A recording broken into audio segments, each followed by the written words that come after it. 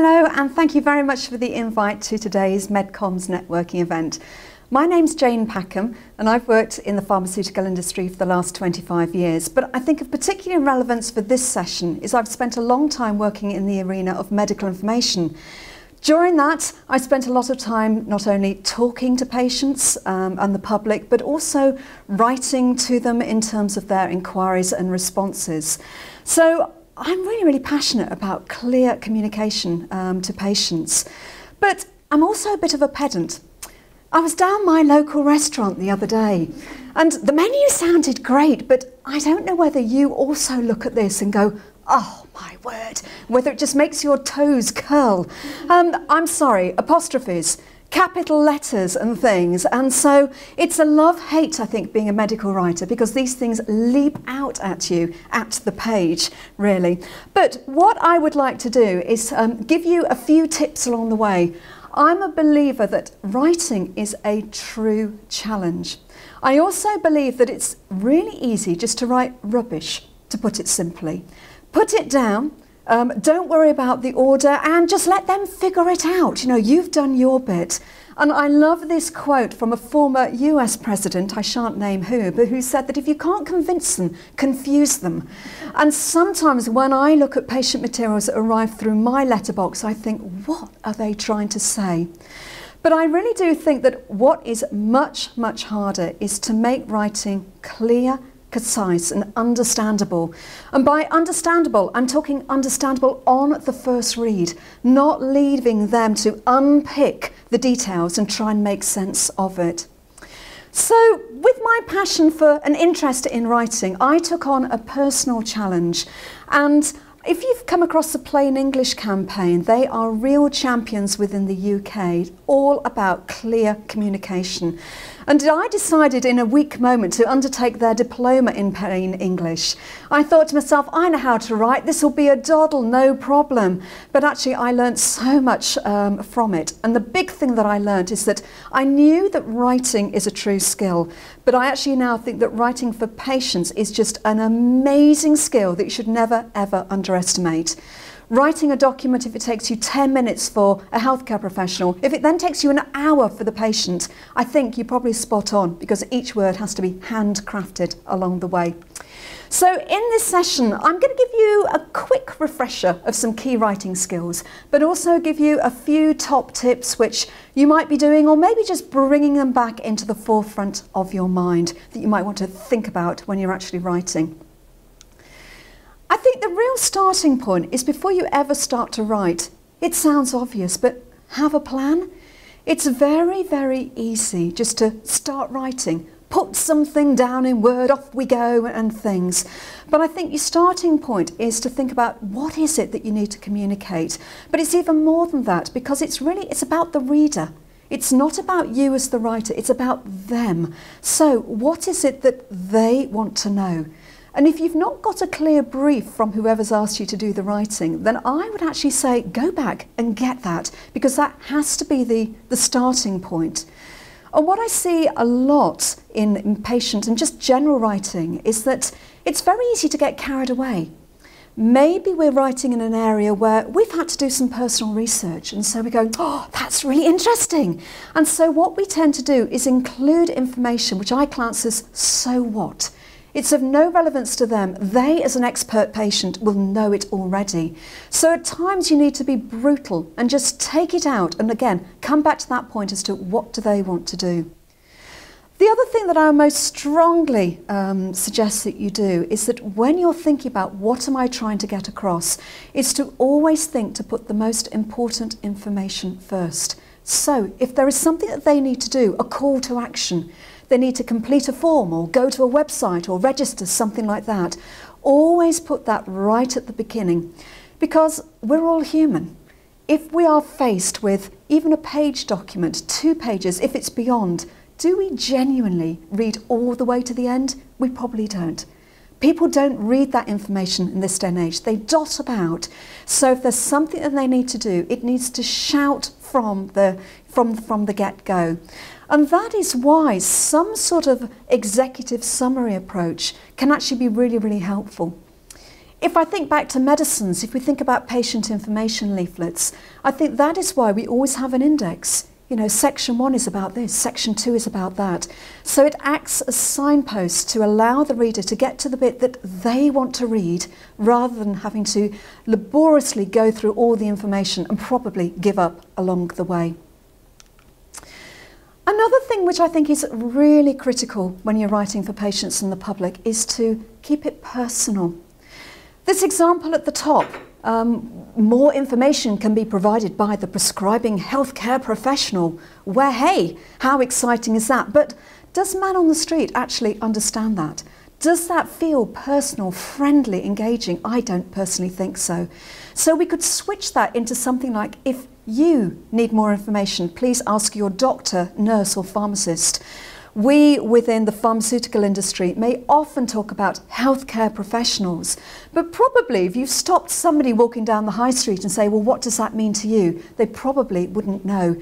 So it's about translating our sort of jargon that we use into terms that really will be understandable to, to man on the street. The other thing which I think is really, really key is to chop your sentences, keep them short. I always say to people, fall in love with the full stop. It's easy to write long verbose sentences with clauses, subclauses along the way, but you know what? It's much, much easier to understand, you know, a short sentence, maybe 15 to 20 words, something like that. And so if you're finding that you are writing a letter and you start with, I am writing, it's like, well, yeah, I know, I've got the letter in front of me, so just be brutal, chop it out. And it may be that this is a, a, a two-phase process, draft something and then go back and reflect on what you've written, but be brutal, but not too brutal where you've chopped out so much that actually you become rude and a bit aggressive in your writing. It's a bit of a fine balance, but keep that, you know, that friendly style as you go along. Jargon, I would say, is probably one of my biggest bugbears and one of the major things that I constantly see. We live in a highly technical medical writing environment. But we constantly have to bear in mind that that is not the case for the vast majority of people who are going to be reading our information. The average UK reading age um, is that of a 9 to 12 year old child. So you've got to picture more the, the sun reader, the tabloid reader. And so if in our writing we're talking about pharmacovigilance, healthcare professional, adverse event even, or if we're talking about the, you know, the lovely black triangles and talking about additional monitoring, then put yourself in their shoes. Are they really going to understand those terms? Probably they're not. So you need to constantly be thinking about how can we translate that. Pharmacovigilance, you might be talking about drug safety. Healthcare professional, that would be your nurse, your doctor, your pharmacist. Adverse event, it's probably just a side effect. That's what most people understand. And black triangle, additional monitoring, hmm, yes, I think you've got to go back and try and explain that if they get any side effect, then they need to contact the company or maybe the, the lovely yellow card reporting scheme. And so expand it by adding more, more words. But a slight caution there is that We've got to always remember that what we're trying to do is make it understandable, but we don't want to dumb down our writing to such an extent that we've actually become patronising and a bit insulting. So you've got to think about who is your reader. If you are writing for an expert group of patients or the public, then they may well understand all this complicated terminology. So just keep that in mind, and it may be that you've got to adapt your style you know, to, to meet the specific target audience that you're writing for.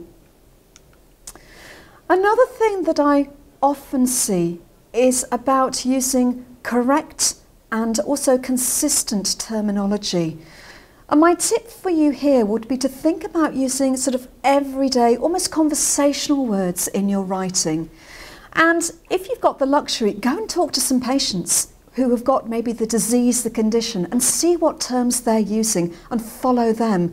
But if you haven't got access to them, and we don't always, then maybe have a look at some medicines and look at the patient information leaflets. Because all those have gone through a phase of user testing.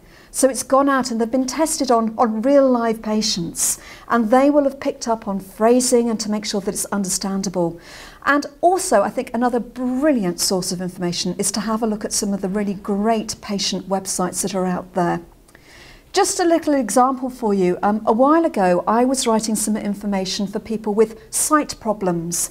And I thought I didn't want to offend anybody. I wanted to be politically correct in my, my terminology. And I initially thought that, yeah, sight problems, that, that encompasses you know, all those um, you know, different visual problems going on. But then I stopped and thought, hold on, have I got that term right? And for me, I then went on to the RNIB, um, so the, the Royal National Association for, for Blind uh, People. And actually, they use a completely different terminology. And they talk about people who are losing their sight, or maybe you're blind or partially sighted. I didn't want to offend anybody by talking about, you know, if you're blind. I thought, oh, no, shy away from that.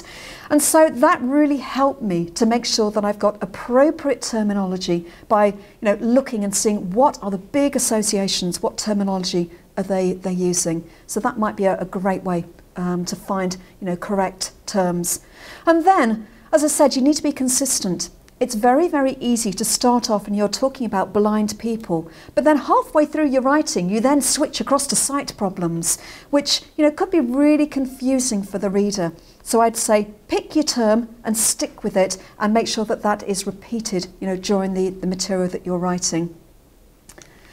Another important thing when you're writing materials for, for anyone really, but I think it's particularly critical for, for patients, is that the layout is super critical. And as I've said before, we can't assume that they are going to start at the top and go all the way down to the bottom and read every single word.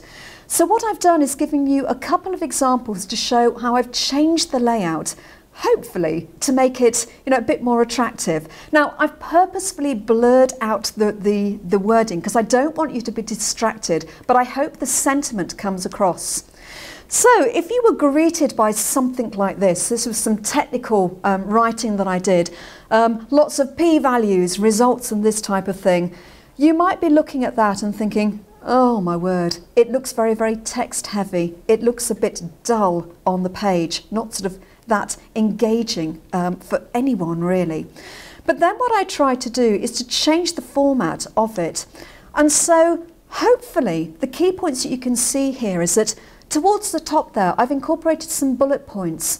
And what that's done, it's changed the whole of the top area of that section and it's incorporated white space. White space, as the name suggests, is purely blank area on the page. And this is really, really important in terms of conveying and making it more understandable.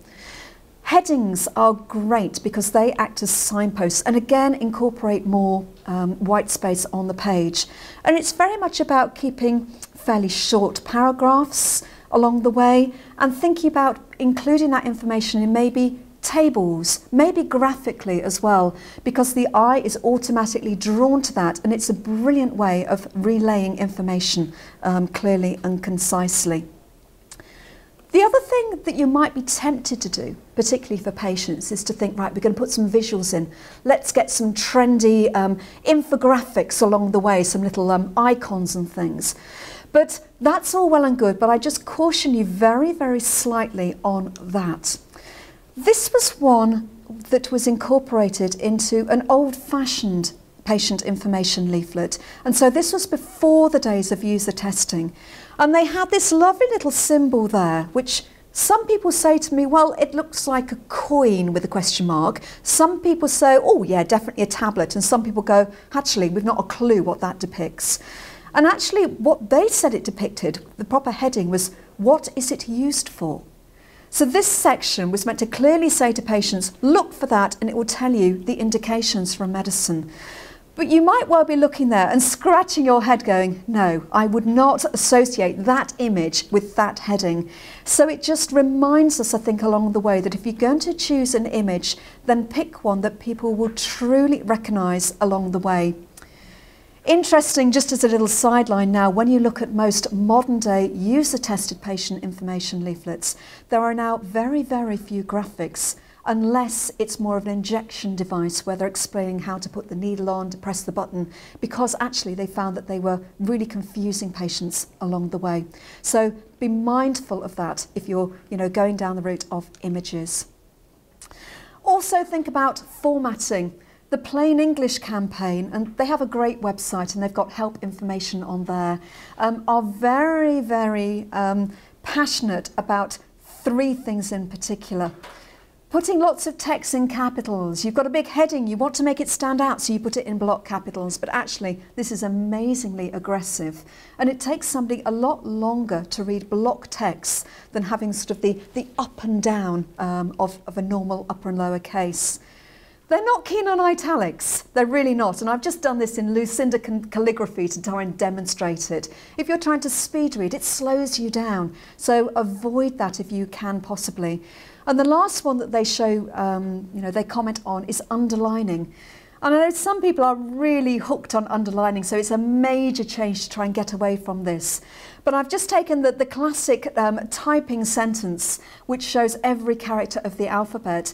And what I want you to do is focus on the Q, the J of jumps, and then the, the Y in the, the word lazy because you'll see that depending where the underlining falls within the font, it cuts through the tails.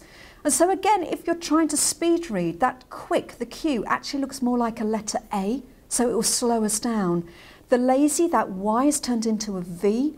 And so again, we just have to think a little harder to be able to read that text. So as a consequence, plain English campaign, and it's one that I've adopted, will say don't underline.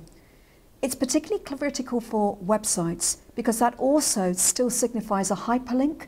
So if you've got underlined text, you'll find users are trying to click on it. Of course, they then don't go anywhere. Final point just to, to flag, we started off with that lovely menu with the capital letters and the, uh, the apostrophes correct. Of course, what is so important is always proof for your, your work. I'm probably preaching to the converted here. But however you do it, don't just rely on a spell checker. Um, an ode to APC. If you got every single word there misspelt, oh, apart from the letter A, that would perfectly go through a spell checker. But of course, the, the description at the bottom is absolutely gobbledygook, so don't just rely on that. And if you make mistakes with, with typos and things, you'll soon find that the reader actually starts to mistrust your information. They might tolerate one, but beyond that, they'll go, mm -mm, we're not happy with this, and they'll discredit it. So that gives you a few of my key tips and uh, thoughts along the way.